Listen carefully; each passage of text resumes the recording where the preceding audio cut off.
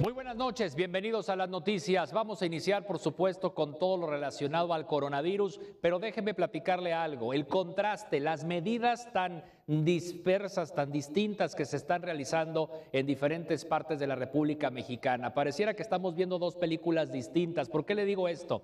En el resto del mundo se están adoptando medidas drásticas de suspensión de eventos, de cancelación de sesiones de clase en las universidades y aquí pareciera que en México y particularmente en Nuevo León no se está tomando las mismas medidas en la misma dimensión. Vamos a hacer un repaso de lo que está sucediendo primeramente en el ámbito del deporte a nivel internacional. Comenzamos con este recuento, lo que está sucediendo, por ejemplo, con la suspensión de los partidos de fútbol de la Major League. Ya le decíamos también las ligas mayores de béisbol, la NBA desde hace días que canceló todos sus encuentros en el básquetbol, partidos de hockey, lo mismo los partidos de la selección mexicana en los Estados Unidos que se encontrarían con equipos europeos, República Checa y Grecia, que no podrán viajar a Estados Unidos por obvias razones. Se suspenden los vuelos procedentes de Europa. Eran fechas FIFA, no se podrán llevar a cabo en los próximos días. Partidos de la CONCACAF, de la Liga de Campeones. Ayer jugó Tigres, por cierto, allá en Nueva York. Están también otros equipos mexicanos en la etapa de cuartos de final. De hecho, hoy Hoy se había, había un partido de Cruz Azul contra Los Ángeles que fue suspendido. Los partidos de la Liga Española, la Serie A, que es el fútbol de Italia, las eliminatorias de la Colmebol, que es el fútbol en Sudamérica, Copa Libertadores de América, que son los clubes de fútbol también de América del Sur, el Gran Premio de Australia, en el automovilismo y también el tenis. Todo esto se ha suspendido en las últimas horas. Y no solamente hablamos del ámbito deportivo, también el coronavirus ha apagado la fiesta. ¿Por qué le mencionamos esto? Porque hay suspensiones también importantes de alto impacto, de alta resonancia a nivel internacional este gran festival, el Coachella en California, que se ha pospuesto para el mes de octubre, el Stagecoach también en California, que se pospone también para el mes de octubre, el Festival de Arte y Tecnología en Austin, que era cancelado, el Ultra Music Festival, que también ha sido cancelado en Miami, eh, eh, conciertos como el de Pearl Jam, que se han pospuesto tanto en Canadá como en los Estados Unidos, Green Day, que pospuso su gira en el continente asiático, BTS, que canceló fechas,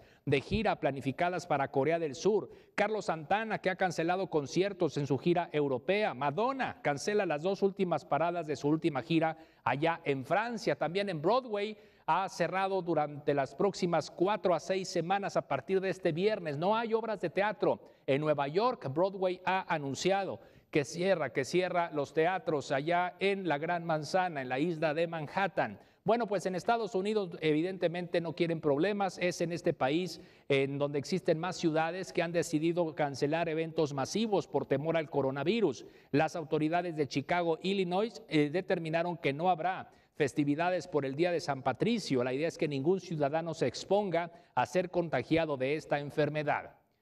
Y si nos vamos al otro lado del mundo, también le tengo noticias de lo que está pasando, por ejemplo, en Francia, donde el presidente francés Emmanuel Macron anuncia este jueves el cierre de escuelas y universidades a partir de la próxima semana a causa de la propagación del coronavirus.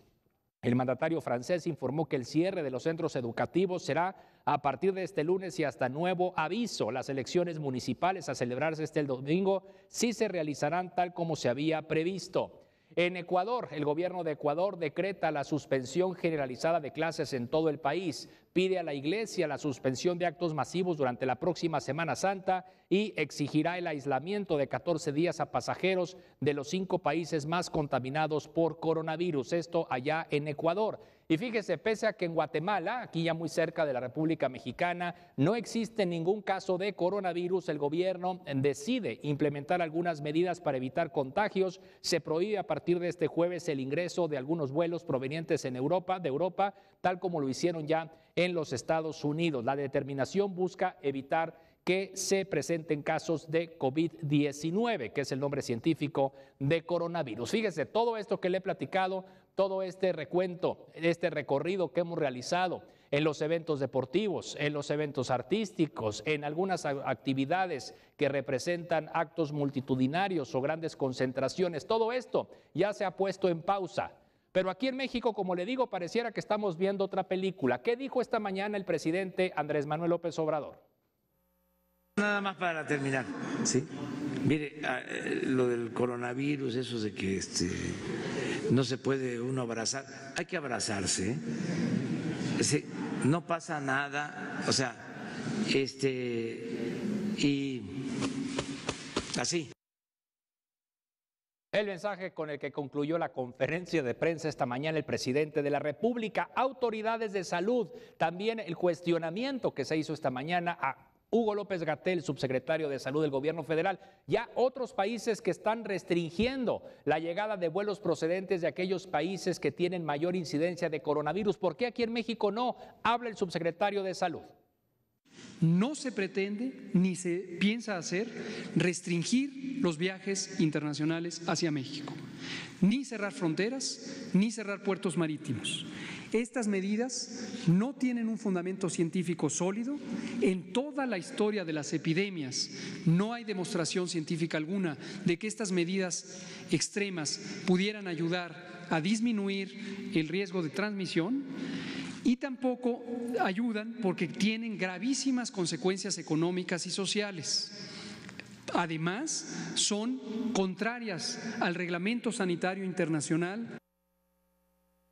Y así en esta misma línea pareciera que estamos viendo otra película también aquí en el estado de Nuevo León y le digo por qué las autoridades descartan por ahora la suspensión de eventos masivos. También las autoridades estatales dicen que ahora no es necesario suspender actividades escolares. Vamos a escuchar qué fue lo que dijo el secretario de Salud Manuel de la O y el gobernador Jaime Rodríguez.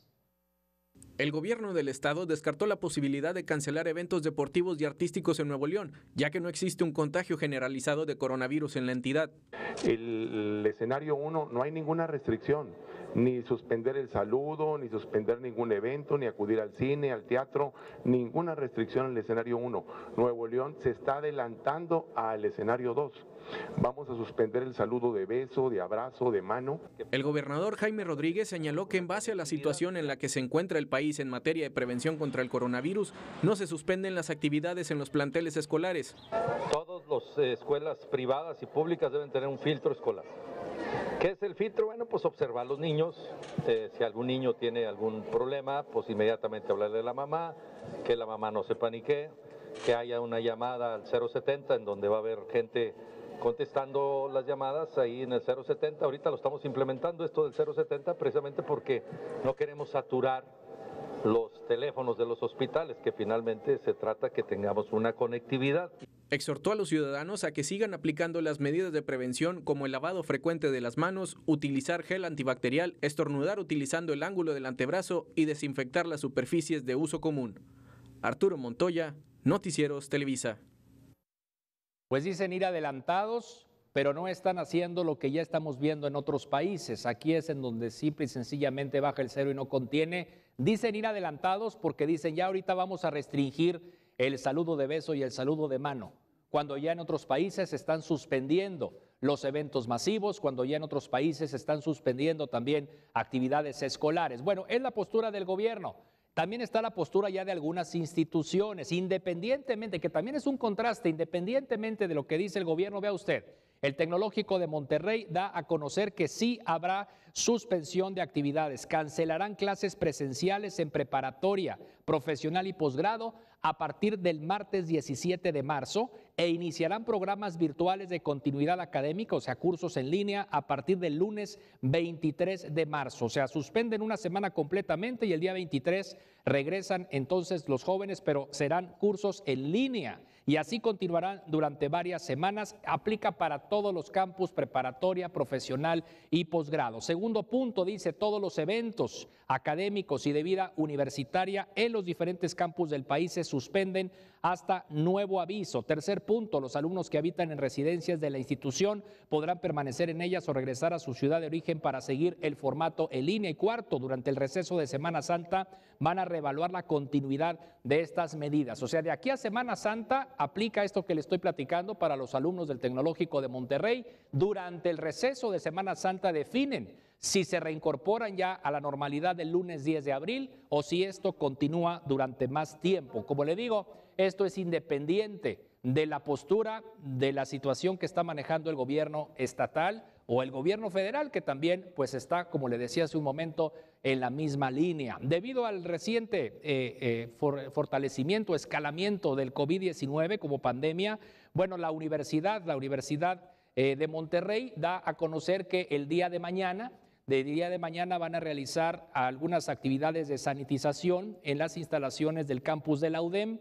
Entonces el día de mañana no hay clase, pero sí van a regresar después del asueto del lunes 16, o sea, el martes 17 de marzo regresan a las actividades. Esta es la acción inmediata que tiene la UDEM. La Universidad de Monterrey suspende clases un solo día el próximo viernes, o sea, el día de mañana.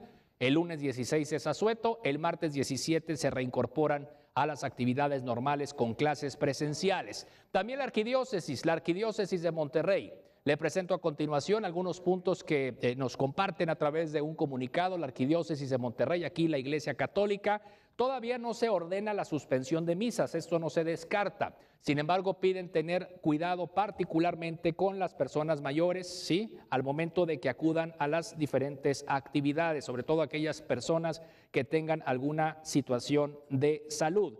Segundo punto, en las parroquias que se pueda, dice a juicio del párroco, van a celebrar misa al aire libre, o sea, evitar que esté tanta gente en un mismo lugar a puerta cerrada, que también, algo que también van a realizar es transmitir a través de las redes sociales, a través de plataformas digitales, las celebraciones religiosas. O sea, usted lo puede seguir entonces desde casa. Cuarto punto, se evitarán las parroquias actividades especiales que impliquen aglomeración de personas. Quinto punto, exhortan a los sacerdotes a tomar medidas de salud necesaria, sobre todo en la atención a los enfermos y en casos de defunciones, cuando se celebren misas de cuerpo presente. Y aquí el punto importante, el sexto que dice, no se descarta que más adelante se deban suprimir celebraciones litúrgicas con la presencia del pueblo pero esto se determinará, dice, después de consultar a las autoridades civiles. O sea, todavía no, pero ya estamos casi, casi en ese nivel para la Iglesia Católica. Y séptimo punto, las escuelas católicas esperan indicaciones de la autoridad civil y bueno, pues el exhorto pues a estar preparados para enfrentar todo este tema de coronavirus. También alta alta repercusión, gran impacto, particularmente en la zona metropolitana de Monterrey, si hablamos del municipio de San Pedro Garza García. ¿Por qué? Porque el único caso confirmado de coronavirus es un vecino de San Pedro. Y bueno, el Club Campestre de Monterrey, que se ubica en San Pedro Garza García, sobre la avenida Alfonso Reyes, hoy aplica una medida también atípica, que es el cierre de su gimnasio.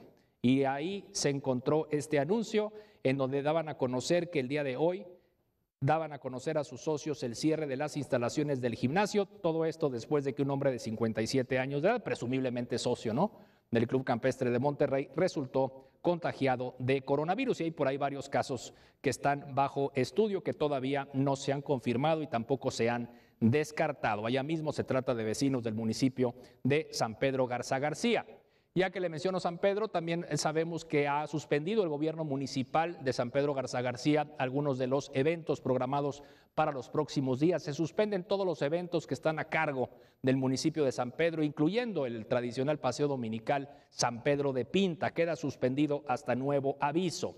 Tengo aquí otro comunicado de la Comisión Estatal de Derechos Humanos. La Comisión Estatal de Derechos Humanos emite medidas precautorias urgentes dirigidas a autoridades estatales y municipales, así como al Parque Fundidora, solicitando se implementen acciones para salvaguardar el derecho a la salud de la población y prevenir la no expansión del coronavirus. Así que a través de estas medidas piden a las diferentes instancias actuar con diligencia para evitar la propagación según su ámbito de competencia. Exige a la Secretaría de Salud que informe sobre las acciones implementadas o que tenga contemplado llevar a cabo para la prevención del COVID-19 y cuáles son los cuidados que le brindarán a la población contagiada. Le pide la Comisión de Derechos Humanos a la Secretaría de Educación dar a conocer cuál es la estrategia que llevará a cabo entre el alumnado y la plantilla laboral. Todo esto que está pidiendo la Comisión Estatal de Derechos Humanos, todo esto no lo hemos visto. Esto hay que subrayarlo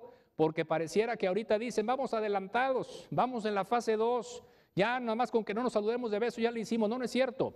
Entonces ahí lo que estamos viendo, lo que está pidiendo la Comisión Estatal de Derechos Humanos es justamente pues todo esto que es básico, ¿no? En el ámbito de salud, en el ámbito de educación, todas las instancias deben de estar trabajando en un mismo frente. Bueno, pues todo esto